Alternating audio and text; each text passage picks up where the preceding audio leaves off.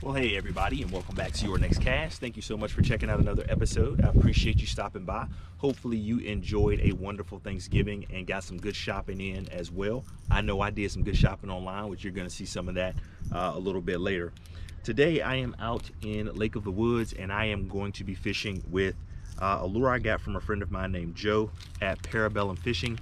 Uh, this Parabellum bait, this is a fire crawl um, custom painted bait custom painted bait that he did. Uh, I won it in a giveaway uh, a little while back, and you've seen me fish uh, with one of the lures he gave me, which was a 13 fishing cranking bait.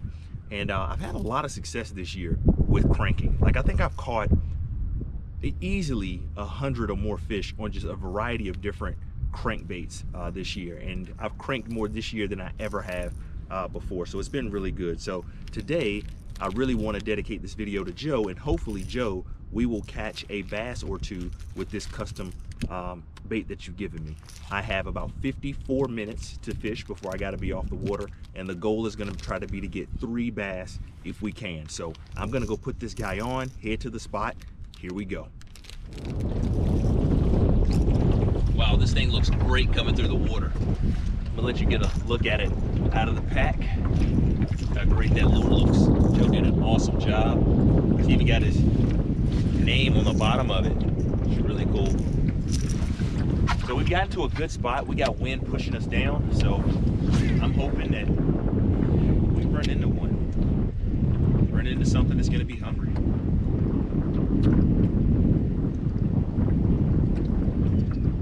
I don't know because it's really cold. Like it was 34 degrees when I woke up this morning. And I was like, there's no way I'm going fishing. Like there was actually ice in the bottom of the boat when I got when I went outside today. And normally that's a clear sign that I'm not going fishing because if you did not know, I am a fair weather fisherman. Like I don't enjoy being frozen uh, when I'm fishing.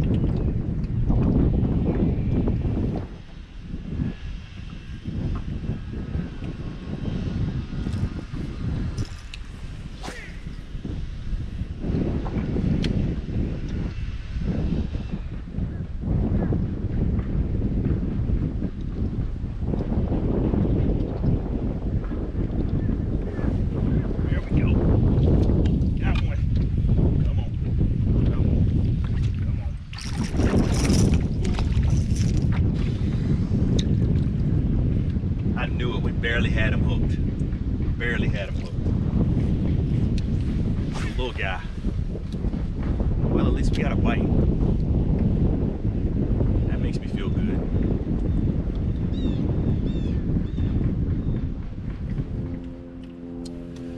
Well, we got a bite, but haven't been able to get anything else.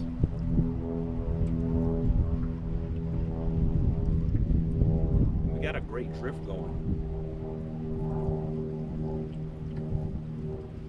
Just don't know if this is the tech, the best technique to do it today. And sometimes, you know, that's the downside about going with one lure and fishing it, is that you're saying, hey, I got to figure out a way to make this work today, instead of saying, hey, what, do, what do the fish want today?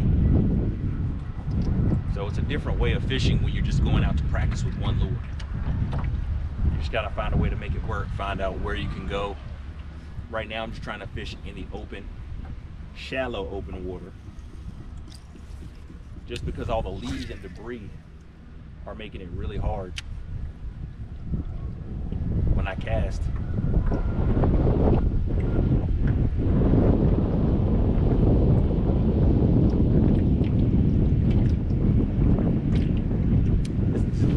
Got him. Ooh, something hit gas that's a good sign at least something hit it. Makes me feel good.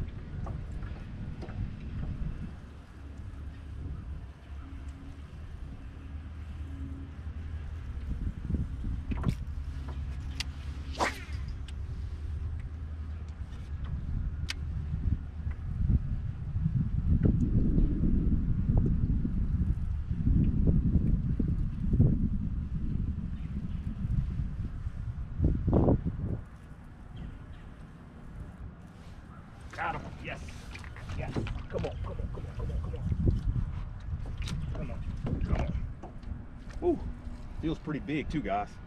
Yes. Yes. Come on, Titus. Don't lose him, buddy. Don't lose him. Man, this rod is doing well. Don't. Don't. Oh, it's a big one, guys. It's a big one. It's a big one. It's a tug. Oh my land. Joe from Parabellum Fishing. Wait till you see this.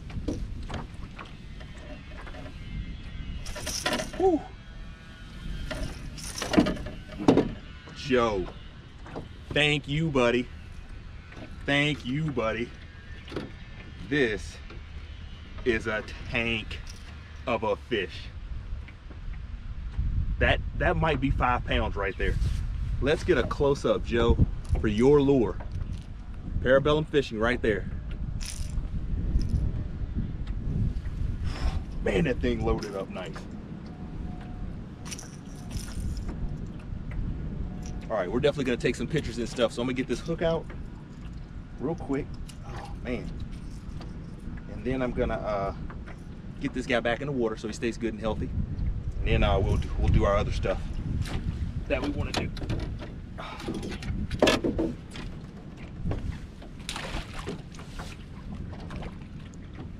What a monster! Oh my goodness, what a monster.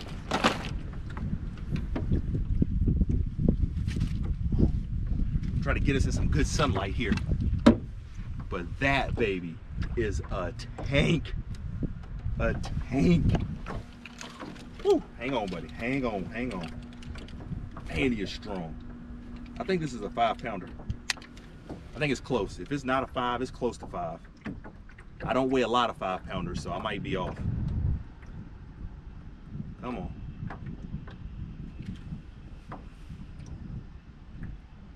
Ooh, I'm way off. First reading says four pounds, three ounces.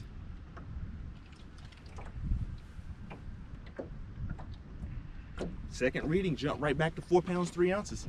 I was way off on that. Maybe I was a little too excited. But four pounder, still a beauty of a fish. Excellent. Bad. I mean, that thing is just, I mean, a tank of a fish. All right, underwater release. Here we go. Take a look at that one more time. All that beauty. All right, buddy. Let's get you underwater.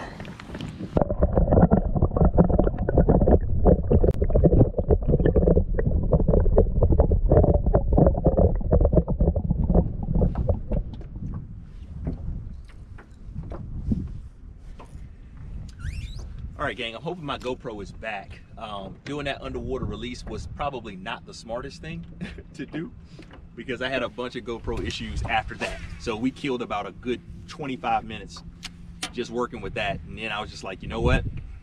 We'll let it go. So yeah, I think it's dried off pretty good. Hopefully you can hear me well now. Um, we've done a little bit of fishing, haven't done anything else, haven't gotten any more bites. Came down to the last spot I wanted to try out um, just to see if we can get one more. Yeah, that, that four pounder was just, goodness, unexpected, but I'll take it. You know, even if I don't get two more, I'll take that four pounder all day. I still got confidence in the lure. Uh, and you gotta love fishing this time of year just because, you know, that's when you can get a big one. You know, it's not a lot of people out. Water's not too cold, even though it was pretty cold today.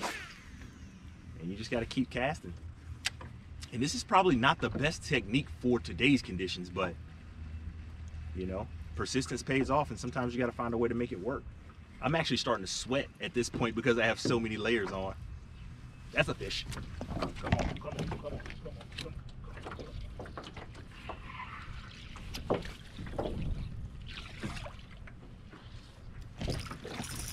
Get in here. Woo. Yes, another one. Not as big, but still just as pretty. Don't do it, buddy. Don't do it, buddy. Don't do it, buddy. For both of our sakes. Don't do it. I know you're probably nervous watching this saying, Titus, You're scaring me with those treble hooks. Believe me, I'm scaring myself. right now too. I'm just praying that this goes well and doesn't turn into a disaster video of, you know what? Why am I even doing that? Let me just get the pliers. You know, sometimes we make bad choices. This is the life lesson for today. Sometimes we make bad choices and we know we're making bad choices. And it's like, why am I making this bad choice? I don't have to make this bad choice, but I'm making it. All right, got that out. Good. Now let's get the fish and the lure together. Bam, there we go, we got it. Thank you again, Joe. There's a fish. Let's get him back in the water.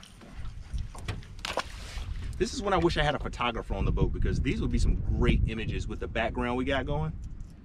It would be awesome.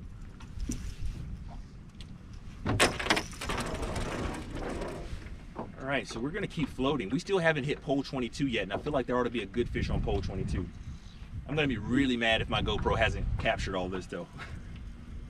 I can't tell you how frustrating that is. So for those of you that don't do YouTube, um, or don't do YouTube and fish, you know, it's, it's very hard to capture the magic of the whole thing in one fail shot, like I've done on these two today, hopefully.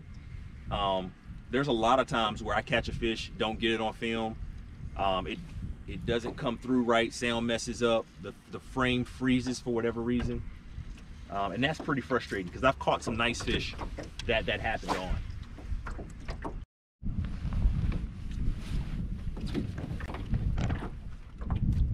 So it just happened. I was talking, and as I was talking, it just went straight out. So that's what happens when you're trying to fish and make YouTube videos.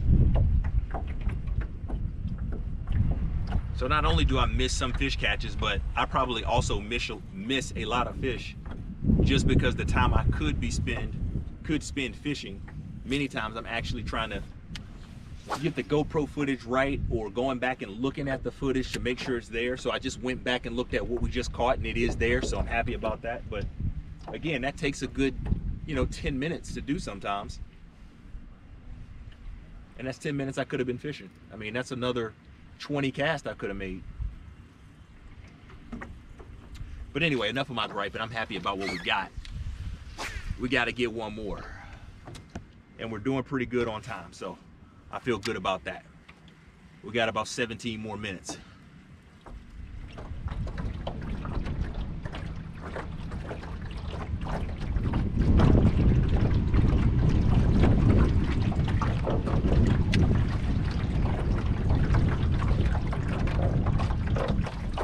Oh no, gang, I got hung. Please let me get this thing back. Please let me get it back. Please let me get it back. I don't know what I'm hung on. No. No way. No way. This wind is not helping at all.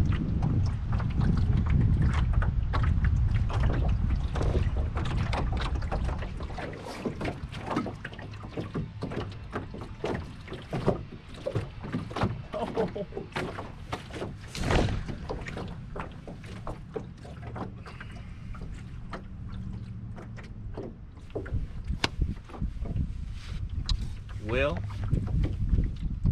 that's it, gang. How about that? I'm so sorry, Joe. Like,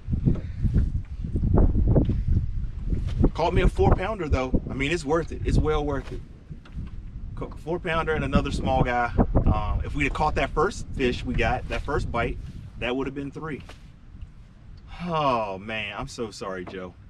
I feel so bad. I hate losing lures, but definitely one that was custom painted and given to me. But that's fishing, ladies and gentlemen. I know you you typically see the highlights and you see great things and fish catches and whatnot, but fishing is unfortunately losing some lures sometimes, um, even ones you care about a lot. So that's it. I'm done for today. I'm going home. Um, man, man, oh that hurts. And I didn't even get a chance to go try down there. And I bet it would have been good. That hurts anyway, I'm gonna be thankful. I'm gonna be grateful because it is a season of Thanksgiving. It's always a season of Thanksgiving. Thank you to everybody who watches and who has subscribed and who has enjoyed this video. Please leave a thumbs up if you have. Um, and go check out Joe. Please go show him some love um, for sure. A link to his channel is right down below. That's to do it for today. Um, I feel like there's more I want to say, but there's, there's nothing else I can really say.